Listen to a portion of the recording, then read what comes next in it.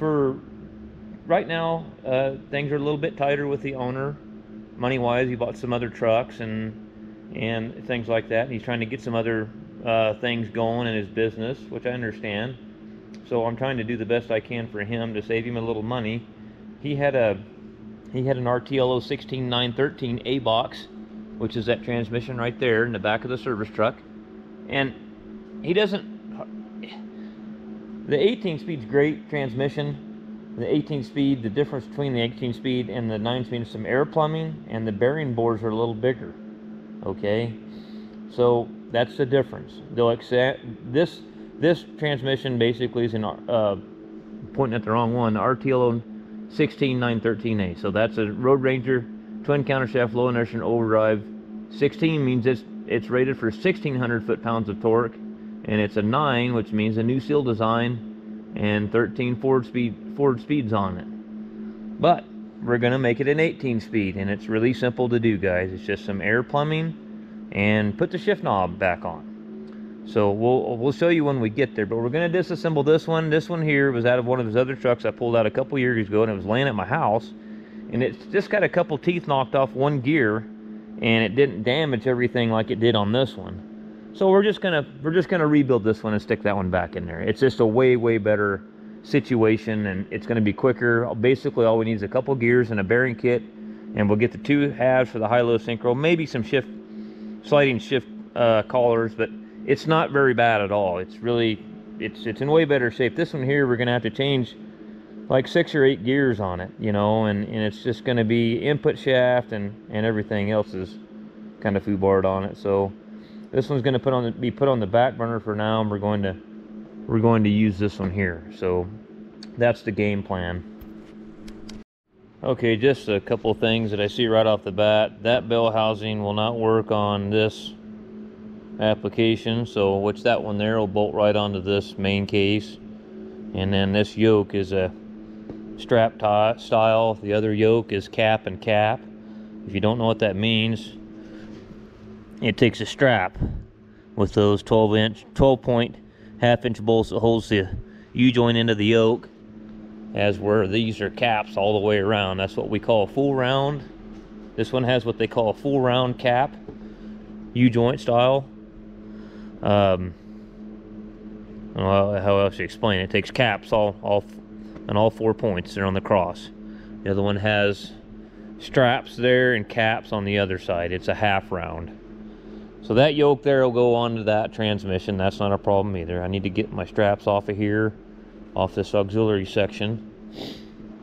And what we'll do right now, I found my hook. I couldn't, I used to do a lot of this kind of stuff years ago and I had all this stuff all situated and lined out and everything and then I've kind of got it scattered and lost some of it and finally starting to find it all. I like doing these, I really do. They're really kind of easy and I don't know why guys are so scared to rebuild them. They really don't take that long and if you can get the parts in a timely manner, they're pretty damn easy to do. Uh, they're a hell of a lot easier doing an automatic, to me anyway. But anyhow, I'll quit blathering. So let's, uh, I guess the first thing is, uh, let's do what we did yesterday. Let's, what I'm going to have to do is get the, I was going to say, uh, I might have to shift bar housing off of it right quick. And, well, let's just take the, let's just take this off real quick. Get two gears maybe. Well, that ain't gonna happen either, really. I'm trying to think. I guess I'll rip the shift bar housing off.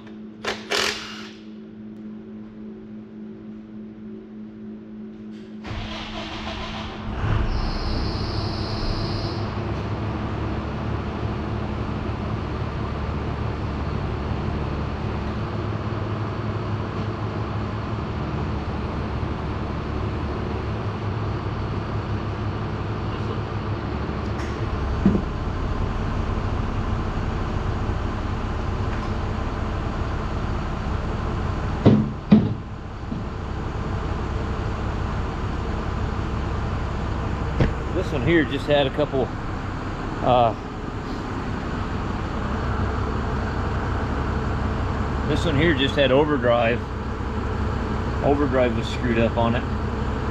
It had a couple teeth missing there.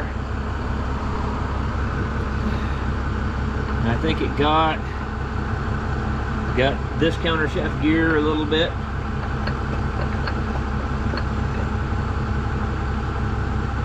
About this other countershaft? So it needs three gears changed. I can see a part of a tooth collar on this countershaft.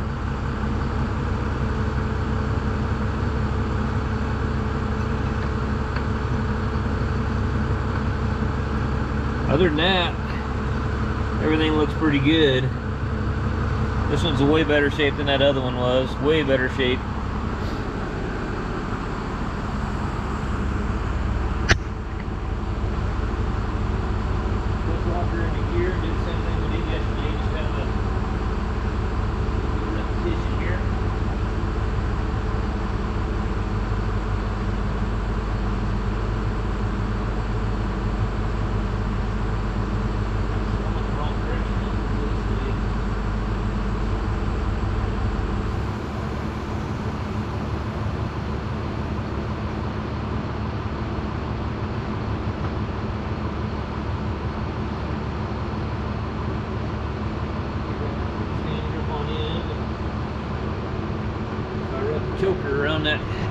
Wrap choker around that yoke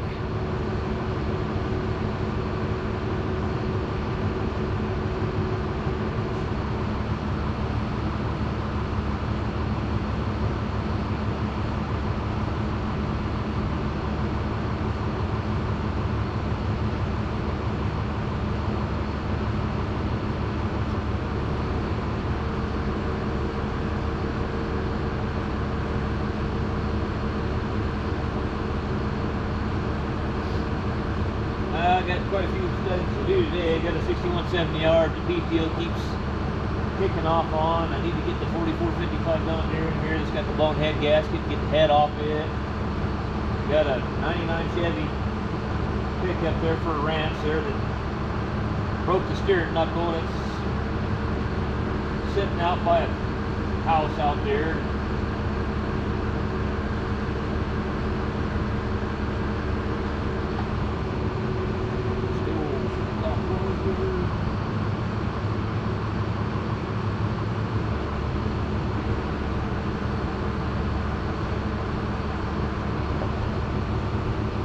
sat out by my driveway for a little while and it's got a little bit of water. That's okay.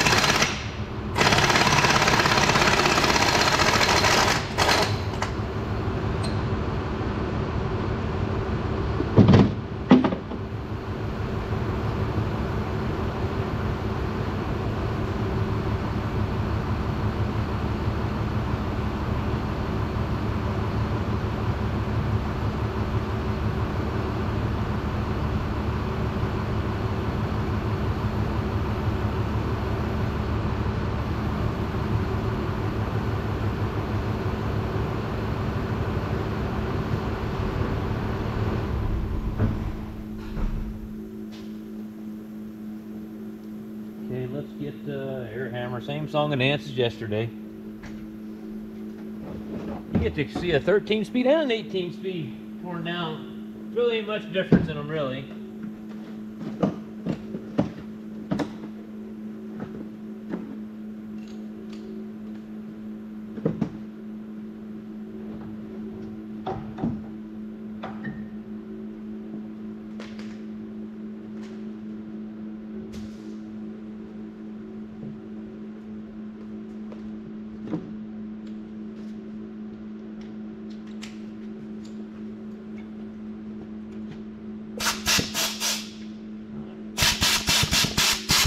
This air hammer is just about had it.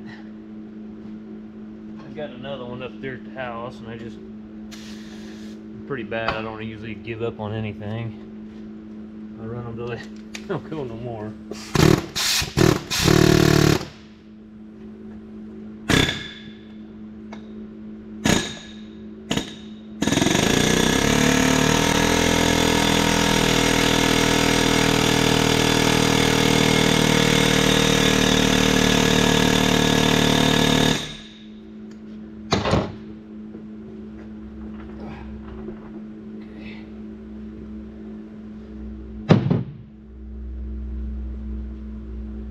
Okay, so I'm going to uh, should move that a little bit better out of the way. So this style here. hmm, you pull that slave valve off and just kind of hang it with the auxiliary sections. What I need to do. So what we're gonna do there, I'm gonna show you pulling the slave valve off and. Uh,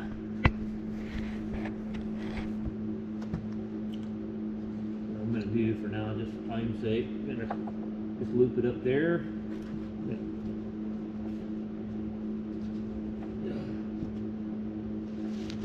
Usually those pop out of there a little bit easier than that.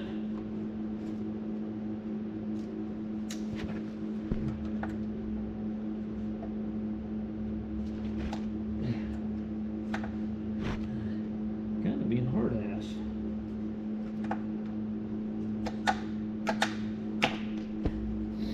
And it goes across the shop. Let's go see if we can find that. Ah. That'll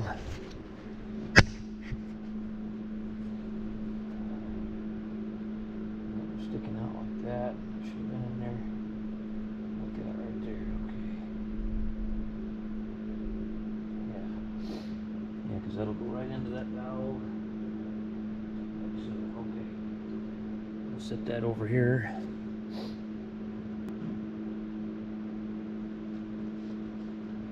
Okay, let's go over here and rip our straps off this other one, see if it completely falls apart on the pallet. We need that yoke, but all that stuff will be right here. It ain't going nowhere.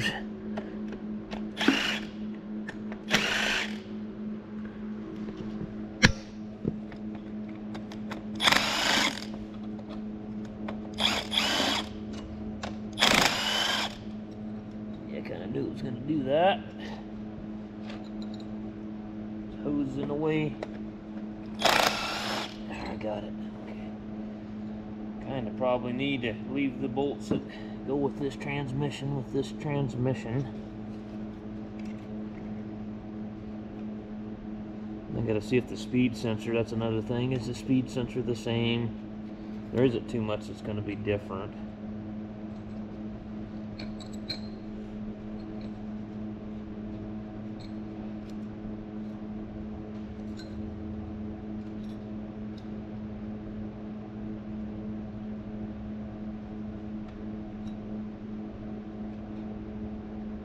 One thing about the Eaton stuff and the truck stuff. A lot of the stuff's interchangeable, you know, versus the automotive stuff. You know, like these pickups, I mean, there's just hardly any. So when you lift these auxiliary sections off, don't be alarmed if your your splitter sliding clutch falls out. No big deal. It happens all the time. You slide back in. But this one here is a heck of a lot better shape. This is gonna be a lot better transmission to rebuild here. Okay guys, got the bell housing off. This is almost an identical transmission as far as disassembly goes on it as the one we did yesterday.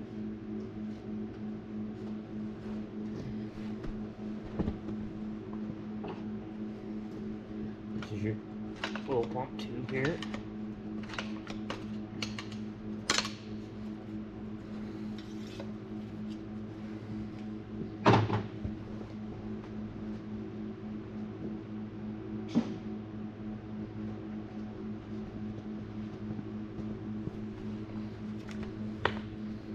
Take the retainers off our counter shafts.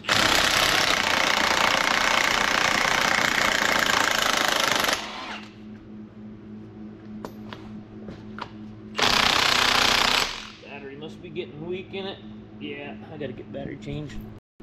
Alright guys, so the next thing we're gonna do is pull this reverse idler out. Okay, and then we'll pull that out of there. Pull the shaft out basically, and I'm just gonna go that direction with it. Well, what did I do last time? I pushed it that way a little bit. To, uh, I don't know. Let's see what we. trying to remember. I had a light here somewheres. I can have this whole thing disassembled in about an hour and a half. And there's my lights charging on the dash here. I got to get my butt down there and get that dresser dozer back together, but waiting on the gasket for it too. That TD25E, that's been kind of on my mind. So let's let's see here. Let's get our light right in there. What I could do is kind of tap that shaft that direction, get that snap ring off, then we can shove that shaft out that direction.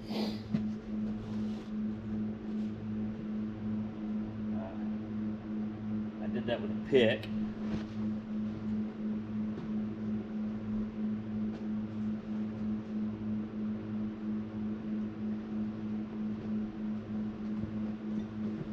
There should be why they always on the bottom where you can't get to them? Where you can't see them. Why does that seem like that's always the way that that goes? Let me see if I can tap it this way and move the snap ring around maybe.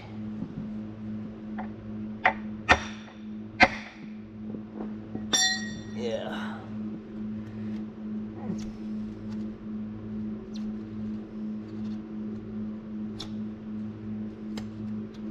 Man.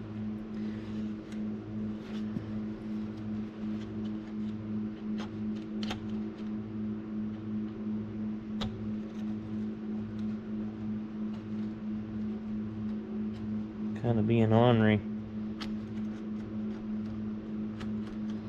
Tell these guys they put things together and they don't ever think about at the factory or whatever. They never think about taking them back apart.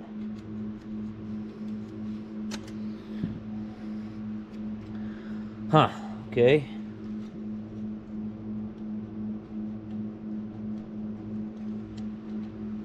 There, I finally found an edge where I can get it twisted. Or maybe I can find the end of it maybe and yeah, I see,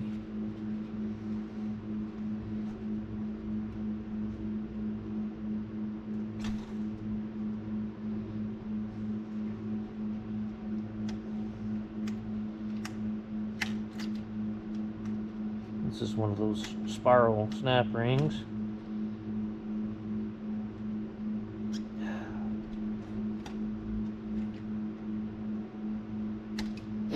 I need more than one tool here.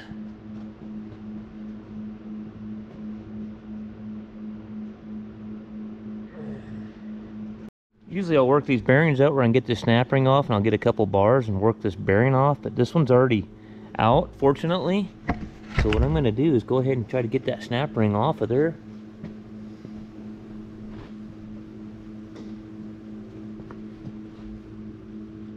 While it's out there in a convenient spot. Oops.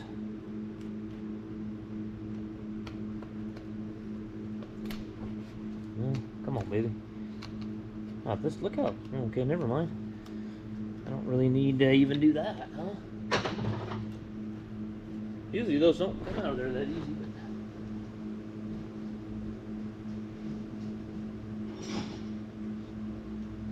It's gonna give it to me. I'm gonna take it.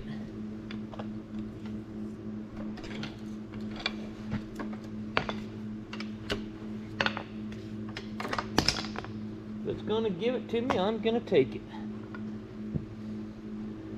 Wonder if I can get lucky enough and get that other one out there like that. Probably not. Never seem to get that fortunate, but alright, so we'll pull the snap rings off the back.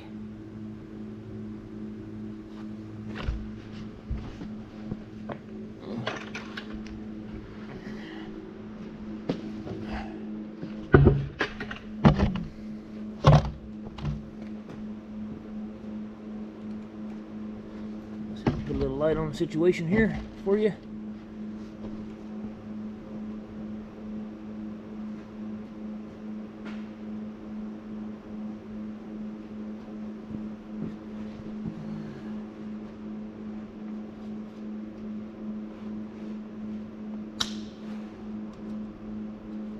You like it when your hands shadow everything you're doing and then you can't see what the hell you're doing? That's good. Should be able to put her back into neutral and turn that where I can get to them damn saffrons a little bit better.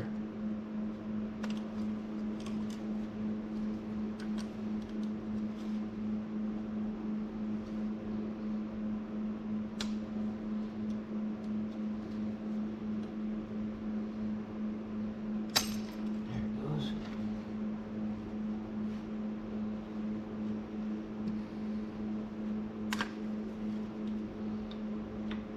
Yeah, I didn't really want you to go down there.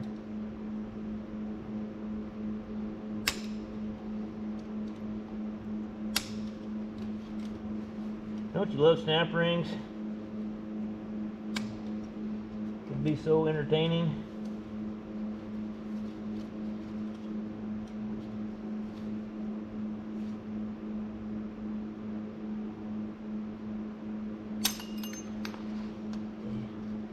Got them both off of there. Okay, what we'll do now is shove these bearings out the back. We get a punch.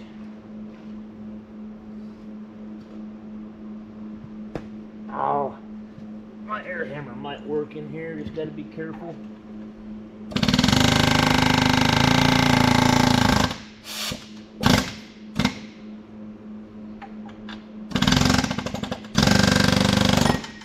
I'm not carried about knocking the rollers out. We're not reusing these bearings anyhow, so didn't really think it was going to come apart like that, but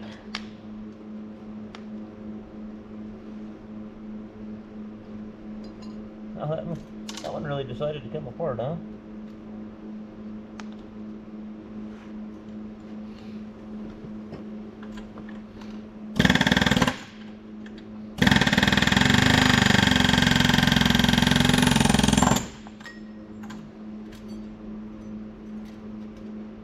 That's all right. Okay. Everything's out of this one here. I'm going to show you something else that I have done in the past to make things a little bit simpler and easier on me is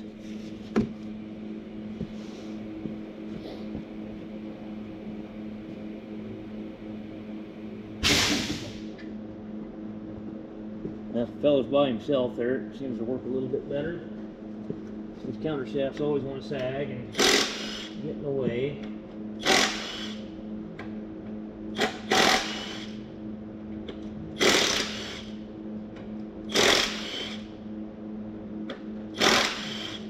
This plate here is kind of convenient to pull off.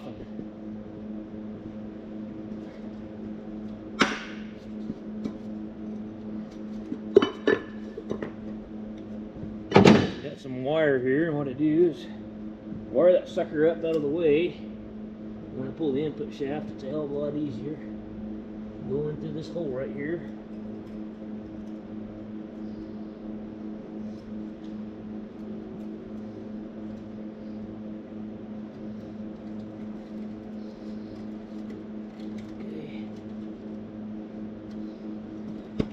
Me find my damn Leatherman. I don't know. I need that right now.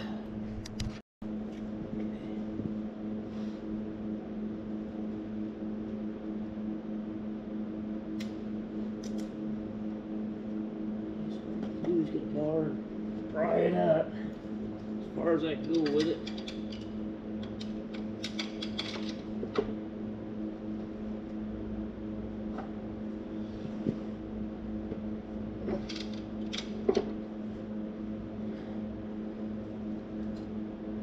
Just like that.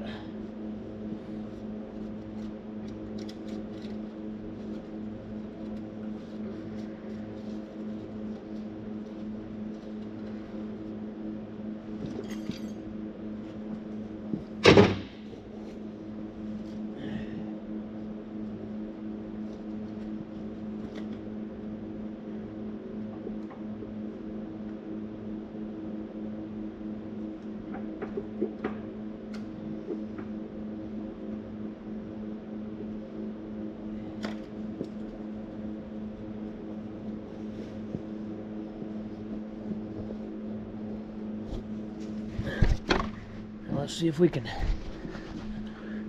get this wonderful snap ring off of here.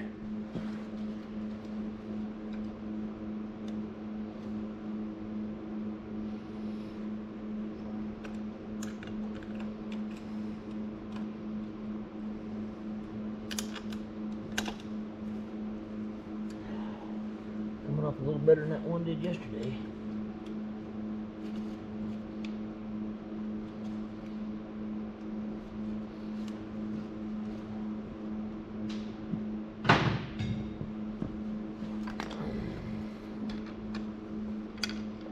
There we go.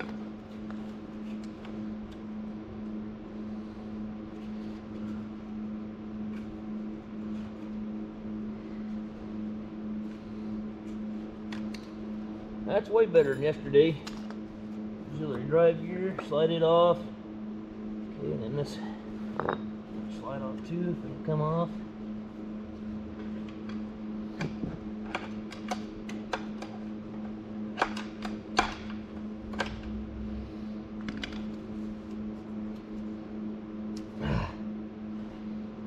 Wanting to come off though.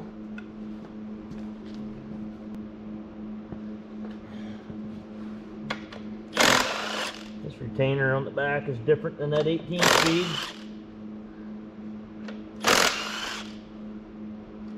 Bearings are a little bit smaller. Ah. It's quite a bit different retainer. This transmission's in way better shape though, I'll tell you that.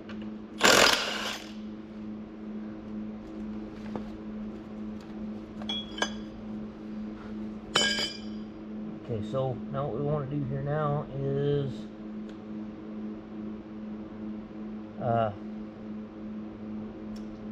if I get that snap ring off there or not.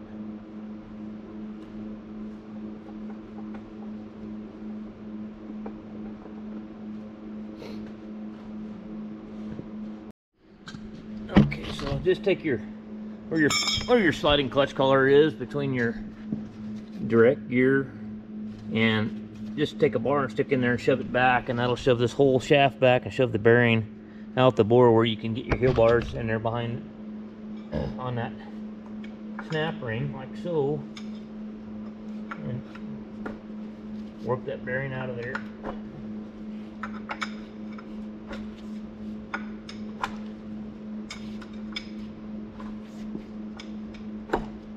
Like so okay we'll stack all this stuff up the way it come out of there.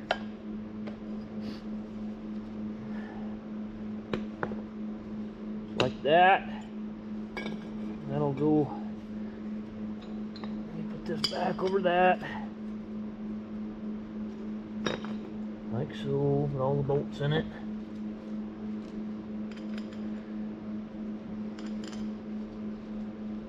Missing a bolt somewheres. Find that bolt. I don't know what happened. Missing one bolt. All right. So now, what a guy needs to do there is pop this one snap ring out. right here. It's holding the low reverse gear on. Slide that, slide that gear forward. It's an internal snap ring.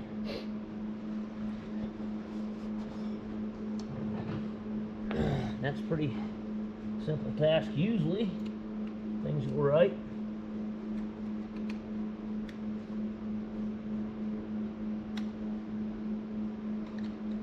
Get my-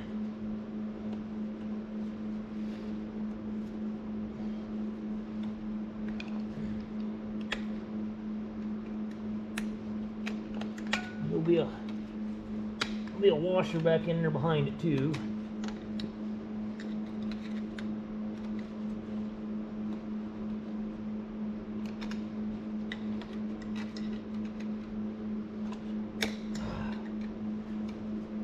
Come on, I need a screwdriver. Man, This one's probably too big.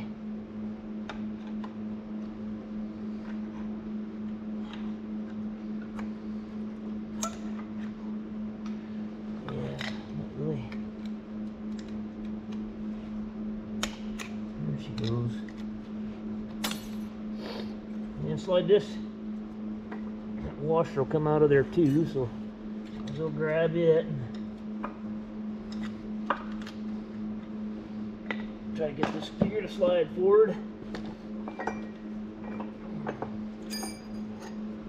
Okay. You gotta remember too, when you're going back together these things, see you've got a beveled side on this washer and a flat side, so read the book.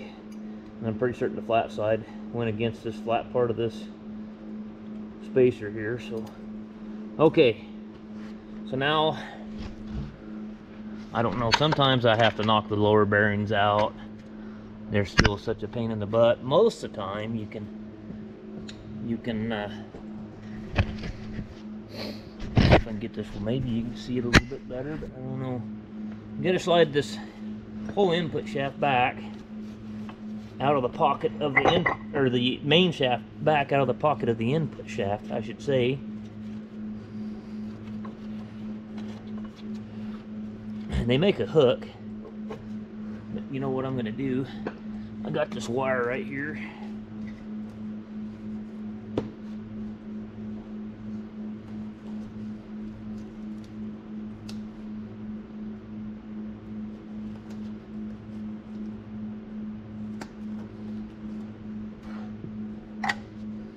Wrap this wire around this shaft right here and use it maybe Maybe it'll be a little bit easier on me.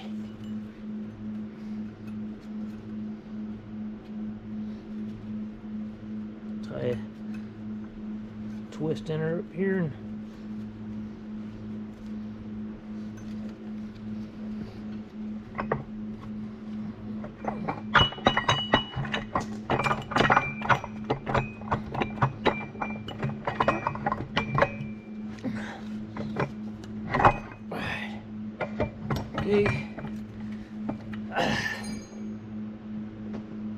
knock the other bearings out down here on this counter shaft. So that's easy to do now that we've got the main shaft out of the way.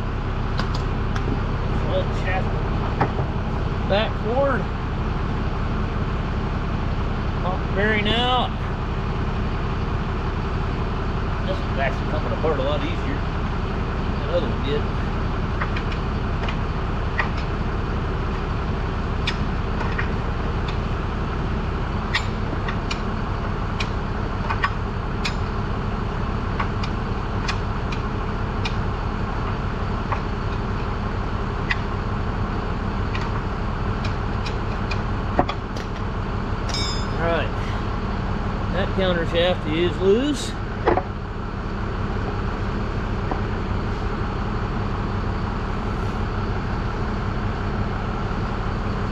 idler. Get both the bush washers off.